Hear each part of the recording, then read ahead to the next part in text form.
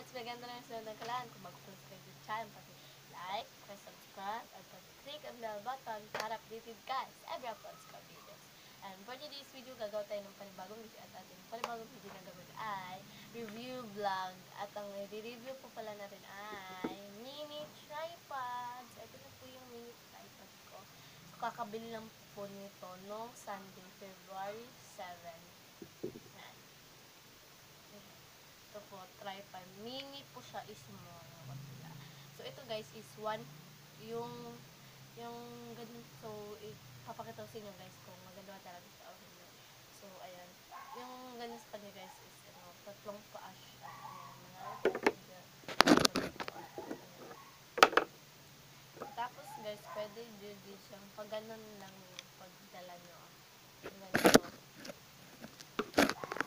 Ganito lang guys. Kung ganun kayo, pag good kayo, aalis kayo guys. Pag lawyer mo, aalis. Kung gusto nyo magbayad, so mga ganun pa ano siya. Tapos guys, ang maganda pa sa kanya guys, pwede nga siya ganito.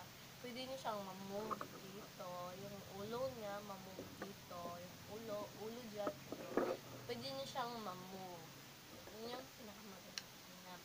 At makikita nyo to dito guys. Ito, ang meaning niyan is, pag pinush nyo siya dito is malalak siya. Pag in, binalik nyo siya ulit dito, hindi, magagamit din siya. So, yun yung kanyang purpose niya. So, ito po pala guys is, mabili po pala to sa Tagon Unicap pa din. Ayan. So, ang price pala nito guys is, um, price pala nito is yata mga na- one, I mean, 150 po yung price nito guys. So, mini tripod. So, super, ano lang po siya, barato. Ay, sorry. Mm, super barato. So, itatry natin siya guys. Try natin. Ayan, gamitin natin siya mga mga Oops. Dali lang.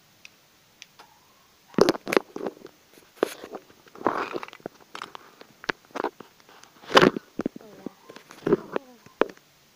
And guys, so, ayan. Gamitin natin yung tatlong paano. Yan. Lagyan natin yung-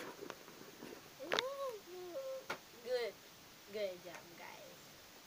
Ang ganda yan. So guys, paki-like, paki-subscribe, paki-click ang bell button para updated ka sa uploads na video. And comment ka na din mga videos. Bye!